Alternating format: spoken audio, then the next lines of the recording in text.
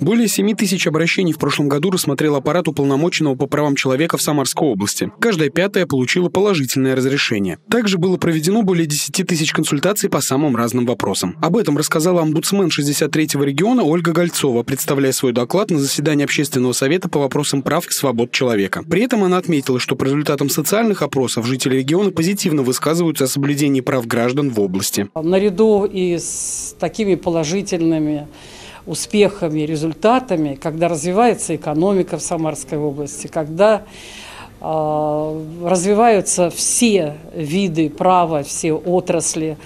Э, у каждого человека своя судьба, и у каждого человека возникают э, свои вопросы. В прошедшем году аппарат уполномоченного по правам человека в Самарской области открыл новое направление в работе. Это оказание юридической помощи молодежи в вопросах трудоустройства на работу. Специалисты проводят консультации, проверяют компании и разрешают спорные вопросы, если они возникают. Первое, с чем мы столкнулись, мы столкнулись с проблемой трудоустройства молодежи. Современной молодежи требуется консультация, а, требуется, возможно, мониторинг э, организации, куда им стоит обратиться для реализации собственных прав.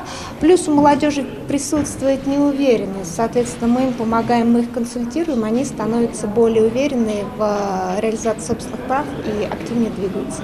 Текущем году работа аппарата уполномоченного будет продолжена по всем основным направлениям. Это поддержка мобилизованных и их семей, помощь вынужденным переселенцам, содействие в обеспечении жителей социальной инфраструктурой, доступными медицинскими услугами и положенной по закону жилой площадью. Андрей Горгуленко, Константин Головин. События.